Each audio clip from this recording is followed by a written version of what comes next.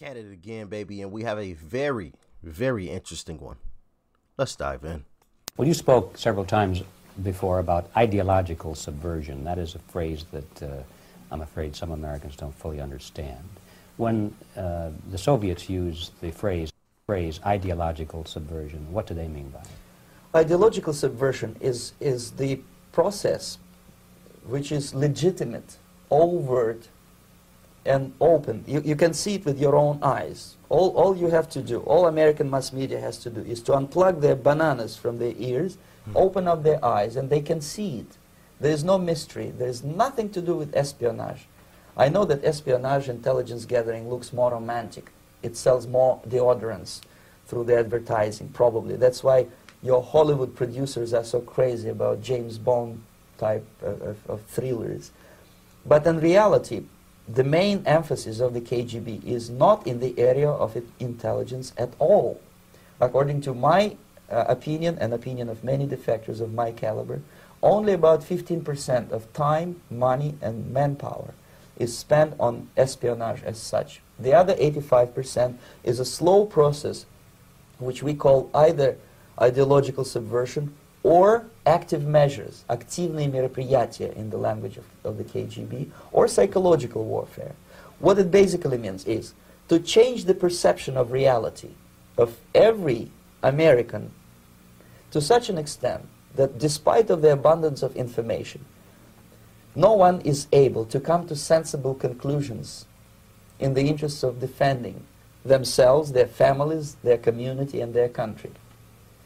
It's a great brainwashing uh, process which goes very slow and it's divided in, in four basic stages. Uh, the first one being demoralization. It takes from 15 to 20 years to demoralize a nation. Why that many years?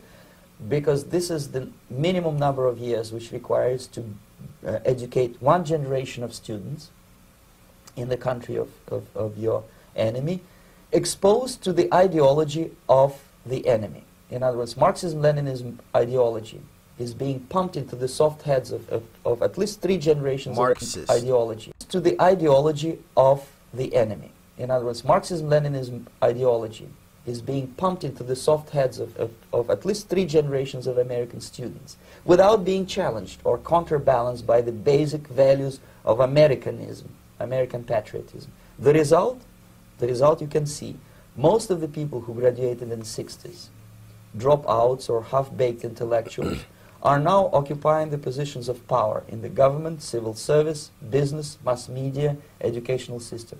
You are stuck with them. You cannot get rid of them. They are contaminated. They are programmed to think and react to certain stimuli in a certain pattern. You cannot change their mind, even if you, if you expose them to authentic information. That's that's a very interesting thing. You you go after the kids. You indoctrinate the kids from a very young age. Expose them to this certain thing, this certain topic, this certain subject. So they react to it a certain way. You don't worry about the older folks. They're already stuck in their ways. You can't teach an old dog new tricks. So you go with the puppies. Teach them. They're more moldable. They're more compliant. They're like blank canvases. Hmm. Genius, I must admit. But also scary because we see it going on today.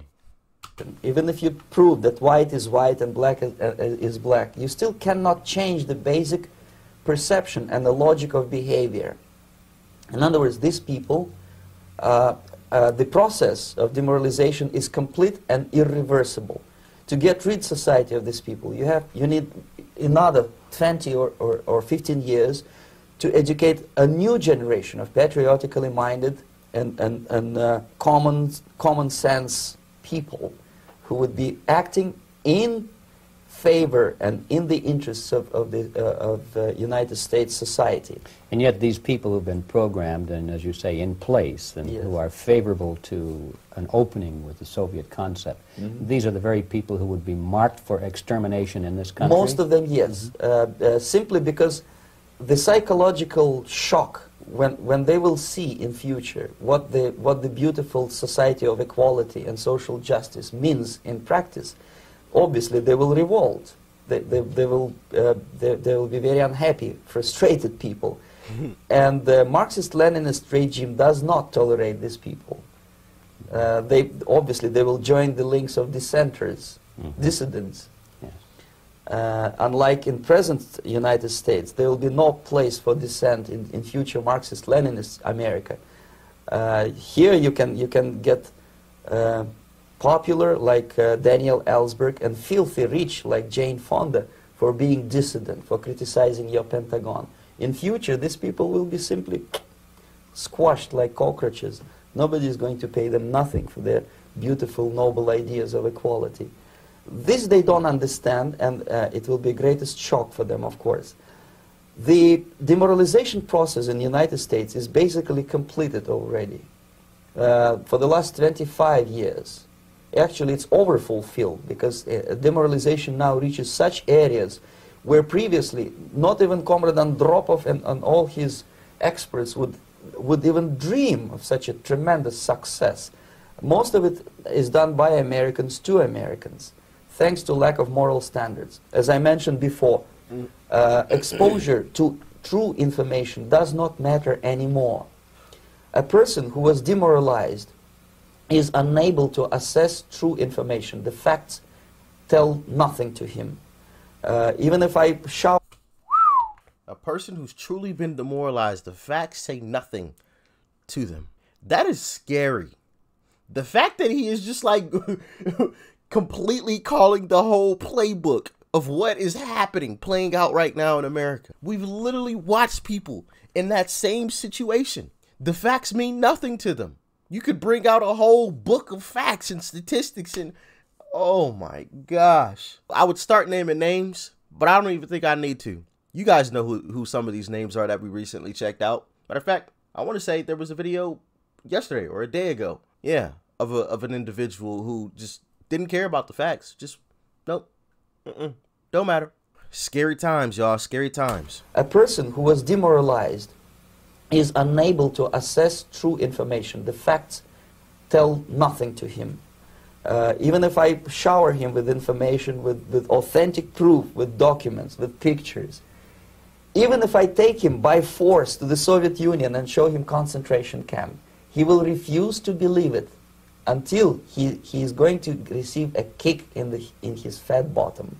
When a military boot crashes his then he will understand, but not before that. That's the tragic of the situation of demoralization. So basically, America is stuck with, with demoralization, and unless, even if, if you start right now, here, this minute, you start educating new generation of Americans, it will still take you 15 to 20 years to turn the tide of, uh, of ideological perception of reality uh, back to normal, no, normalcy and, and uh, patriotism.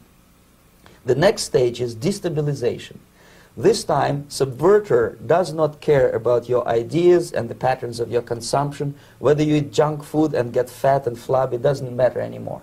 This time, and it takes only from two to five years to destabilize a nation, uh, it's, what, what matters is essentials. Economy, foreign relations, defense systems. Uh, and you can see it quite clearly that in some areas, uh, in such sensitive areas as, as uh, defense and economy, uh, the uh, influence of Marxist-Leninist ideas in the United States is absolutely fantastic. I, I could never believe it 14 years ago when I landed uh, in this part of the world that the process will go that fast. Uh, the next stage, of course, is crisis. It, it, it may take only up to six weeks to, to bring a country to the verge of crisis. You can see it in, in Central America now.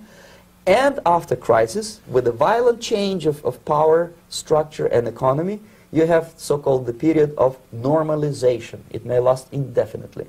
Normalization is a cynical expression borrowed from Soviet propaganda. When the Soviet tanks moved into Czechoslovakia in 68, Comrade Brezhnev said, now the situation in brotherly Czechoslovakia is normalized. This is what will happen in the United States if you allow all these schmucks to bring the country to crisis, to promise people all kind of goodies and the paradise on earth, uh, to, to destabilize your uh, economy, to eliminate the principle of free market competition, and to put a big brother government in Washington, D.C., with benevolent dictators like Walter Mondale, who will promise lots of things, never mind whether the promises are fulfillable or not. He will go to Moscow to kiss the bottoms of, of new generation of Soviet assassins. Never mind, he will create false illusions that the uh, situation is under control. Situation is not under control.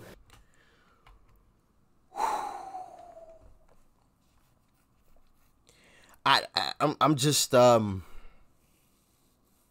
I'm just in shock.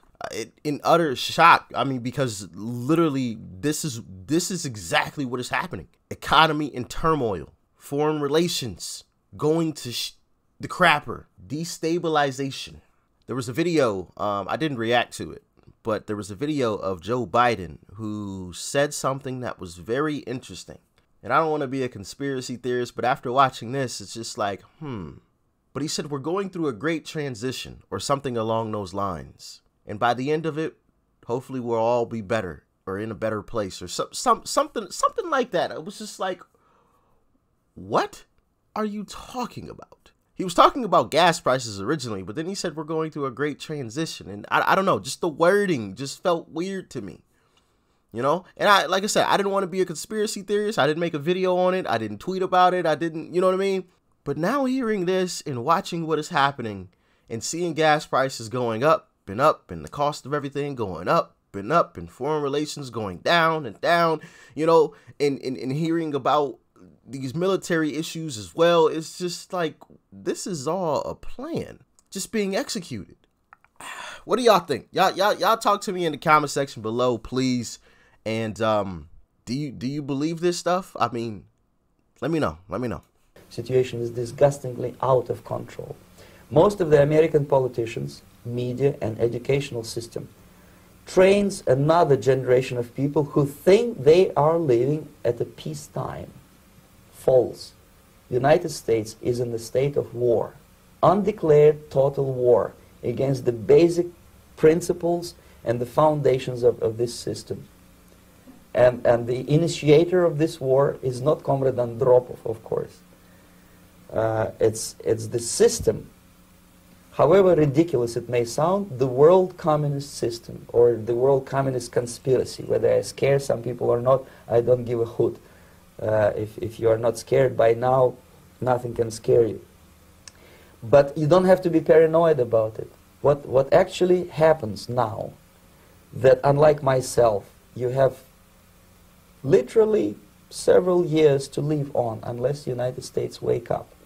The, the time bomb is ticking. With every second, the disaster is coming closer and closer. Unlike myself, you will have nowhere to defect to unless you want to live in Antarctica with penguins. This is it. This is the last country of freedom and, and possibility. Okay, so what do we do? What is your recommendation to the American people? Well, uh, the, uh, the um, the immediate thing that comes to my mind is, of course, there must be a very strong national effort to educate people in, in, in the spirit of real patriotism, number one. Number two, to, to explain them the real danger of socialist, communist, whatever, welfare state, big brother government. If people will fail to grasp the impending danger of that development, Nothing ever can help United States. You may kiss goodbye to your freedom, including freedoms to, homosexuals, to uh, prison inmate. All this freedom will vanish, evaporate in, in five seconds, including your precious lives. Um, the second thing, I, the moment at least part of United States population is convinced that the danger is real, they have to force their government. And I'm not talking about sending letters, signing petitions, and all this beautiful, noble activity. I am talking about forcing United States government to stop aiding communism. Because there is no other problem more burning and, and urgent than to stop the Soviet military-industrial complex from destroying what is, whatever is left of the free world. And it is very easy to do. No credits, no technology, no money, no political or diplomatic recognition, and of course no such idiocy as grain deals to USSR. The Soviet people, 270 millions of, of Soviets, will be eternally thankful to you if you stop aiding a bunch of murderers who sit now in Kremlin and whom President Reagan respectfully calls government. They do not govern anything, least of all such complexity as the Soviet economy. So basic, two, two very simple, maybe two simplistic answers or solutions, but never, nevertheless, they are the only solutions. Educate yourself, understand what's going on around you. You are not. We, we, we got we got to take control of these schools. These schools are, are, are teaching BS. I don't I don't like he said the the answer isn't running away from the schools. And a lot of you have suggested, hey, homeschool, homeschool, homeschool. I, I, I listening to this, I don't I don't think that's the answer anymore. I think it's taking on these school these school boards and all of the, uh, these sorts of things head on. Maybe joining the school boards ourselves. Maybe that's part of the reason why these things are heading in the wrong direction. We all need to join these school boards so we can send these, uh, uh, uh you know, uh, school districts and things in the right directions.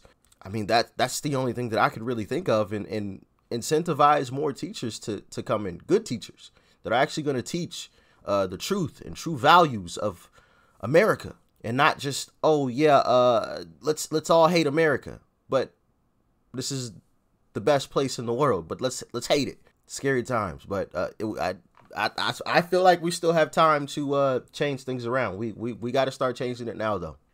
Like he said time clock is ticking. Only solutions. Educate yourself. Understand what's going on around you. You are not living at the time of peace. You are in a state of war. And you have precious little time to save yourself. Um, you don't have much time, especially if you are talking about young generation.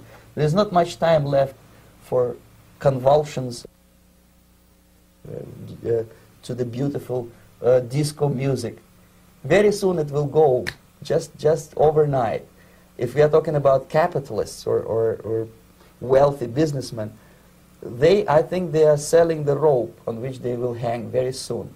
If they don't stop, if they cannot curb their unsettled desire for profit, and if they keep on trading with the monster of the Soviet communism, they are going to hang very soon. And it, they will pray to be killed, but unfortunately they will be sent to Alaska probably to manage industry of slaves. It's, it's simplistic. I know it sounds unpleasant. I know Americans don't like to listen to things which are unpleasant. But I have defected not to tell you the stories about such idiocy as, microfilm, James Bond type espionage. This is garbage. Uh, you don't need any espionage anymore. I have come to talk about survival. It's a question of survival of this system. Um, you may ask me, what is it in for me? Survival, obviously, because unlike, I, as I said, I am now in your boat. If, if we sing together, we'll sing beautifully together. There is no other place on this planet to defect to. I am now on your boat. If we sink, we all sink together. There's no other place for me to run to. Stark warning. Scary uh, words spoken. Just those last few words. There's no other place to run to. Or defect to is is, is or was his actual word, but you, you you get the meaning. There's no other place to go. This is the last frontier. This is it. This is the last stand. And um, you know, as we've seen recently, more and more things are being eroded slowly over time. Oh no, we're gonna take away this. Oh no, we're gonna take away that. Oh no, we're gonna take away this. Oh yeah, we're gonna give you free this, free that, free, you know we literally just saw a conference of elitists who don't want people to own anything. You just rent everything. We'll provide everything for you. It'll be it'll be great.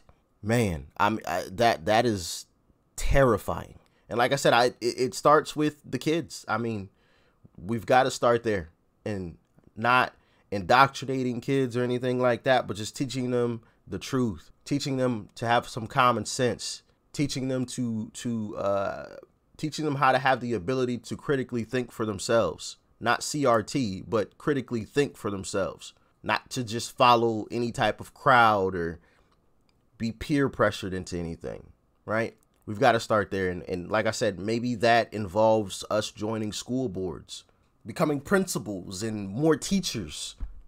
I don't think the like I said earlier, I don't I don't think the right decision is just running away and homeschooling anymore. because we're leaving a lot of individuals behind in those schools to just be indoctrinated with BS. But y'all let me know what you think.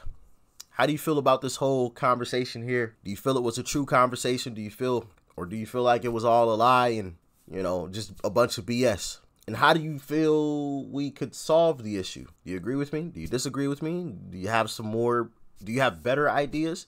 Talk to me in the comment section below. Like, share, comment. Make sure you guys share. That that that is one of the most important things with this one right here. Make sure you guys share this video. Hit the arrow button down below. Send it to your friend, your, your whoever, your cousin, your brother, your sister, everybody. Everybody needs to see this video. This video should have, I, I don't know, 50 million views in a couple of months because of how much has been shared. Because it's, I, I feel like it's that important. But like I said, you guys let me know in the comment section. Peace and love. I'm out.